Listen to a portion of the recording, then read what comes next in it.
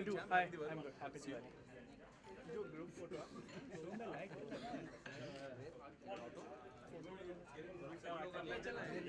Auto है करे तो देखते बाहर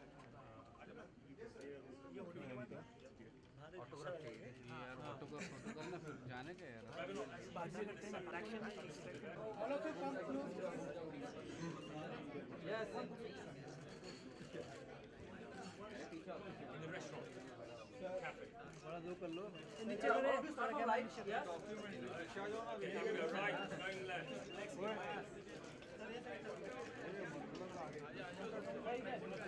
You guys okay at the back? ठीक है? Okay. Please, um. Okay. उनको उनको उनको क्लियर व्यू देने देना. सुन- सुन ना तेरा फ़ोटो हो गया ना?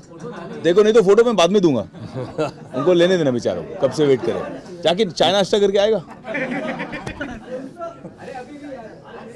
अरे तुम लोग क्या लिटा दोगे उन लोगों को थोड़ा कैमरा ऊपर करो बेचारे उससे नीचे क्या जाएगा वो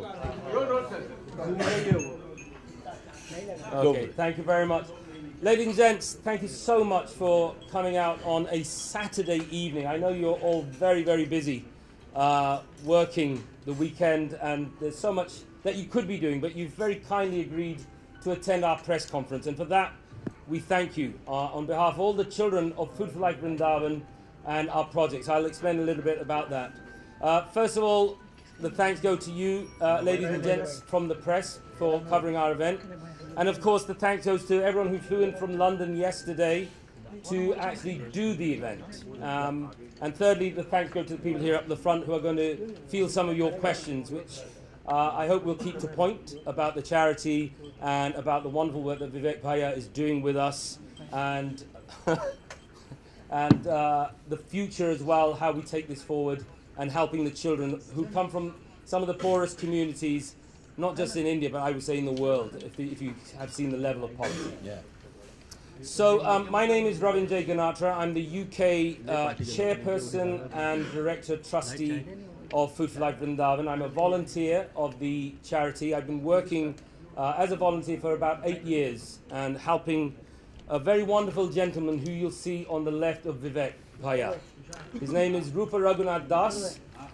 he's, he's an Italian, Italian gentleman who spent the best part of 30 years here in India. He, wa- he was Italian, now he's Indian. Now he's Indian. Now he's Indian soul, Italian nationality. Absolutely.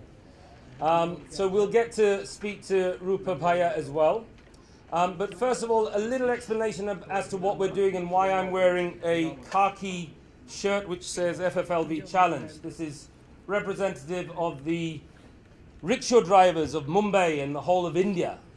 And what we want to do is do, to do a challenge which would take a bunch of reasonably well to do people who don't have poverty in England, but who want to give something back to society. Uh, they bought into the project, they bought into what we're doing, and collectively we decided that we would want to come to India and raise some money around the world so that we can educate some girls, as many as possible, quite honestly. And this was sparked from a conversation that we had many years ago when Vivek Bhaiya started this wonderful project called Devi, which is the development, education, uh, development and education of Vrindavan Girls Initiative. Empowerment, sorry. Development and Empowerment of Vrindavan Girls Initiative. It's a wonderful, wonderful project, and the, the website is devi.com, I believe. www. Um, and so we've decided that what we're going to do is something very challenging. A few years ago, we climbed the Himalaya Ladakh region, Stock Kangri Mountain. Kilimanjaro. A few years before that was Kilimanjaro. A few years before that was the Three Peaks Challenge in the UK. Uh, but this time we wanted to uh, find a way whereby we can connect with the people of India, meet as many people as possible along the route. Uh, and that's what brings me to the gentleman on the end, whose name is Ravenel Chambers. He's a Royal Television Society Award winner in the UK, a filmmaker who's joining us on this journey, and he'll talk to you a little bit about it. So we're going to be driving three-wheel auto rickshaws. I'm sure you've all been on a three-wheel auto rickshaw and know how inconvenient, dangerous, uh, uncomfortable these things are. Uh, but we're learning to drive those rickshaws right now, today and tomorrow, and we're going to drive them 1,800 kilometers from Mumbai to the very southernmost tip of India, which is Kanyakumari. Woo! Thank you. So, a big round of applause, actually, to the ladies and gentlemen who have agreed to do that. So that's enough about me. The, the charity is based in Vrindavan. We educate and empower the poorest of the poor, predominantly girls. The reason we ed educate the girls is because in such rural societies, the boy is seen as the asset and the girl is seen as the liability. So we're working our utmost to change that. Um, how would you say that? Unjust injustice. Bilkul. Bilkul, right? Yes. Injustice Of the boy being the asset and the girl being the liability.